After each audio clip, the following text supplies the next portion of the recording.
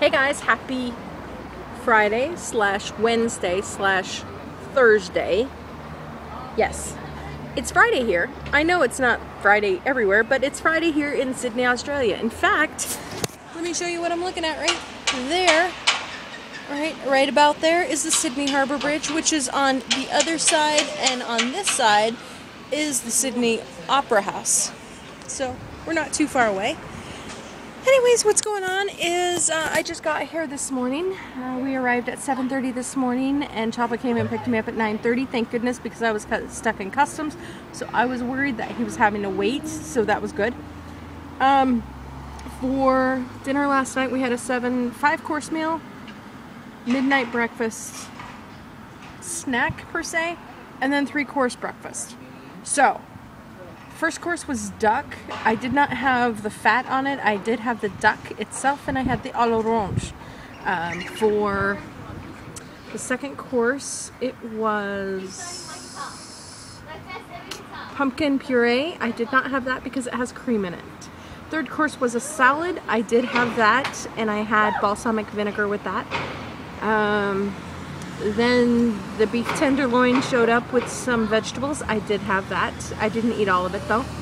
And then the fifth course was of course dessert and I avoided that at all costs. And then on top of that, um, for breakfast, well for a midnight snack we had uh, fruit and I had that. And then of course uh, we had toast with Vegemite. I avoided that and then they tried to feed me Vegemite here again, which I ate because I was nice, but Amazing. not American tastes per se. Um, what else? What else? What else? Um, scrambled eggs. I ate some of that with spinach and uh, croissant with fruit, and I avoided that because of the croissant. Anyways, hello. That's Ikyube. How you doing? Crazy. Crazy kids. Anyways, guys, I will talk to you tomorrow.